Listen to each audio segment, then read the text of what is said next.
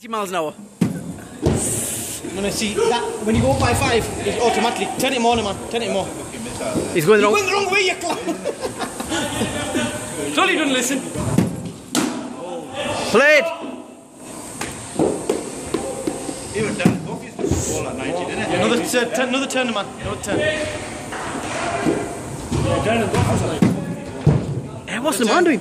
No, it's as you crank up to five miles per hour, it makes such a difference. That's it. Maybe. Oh, yeah, laters.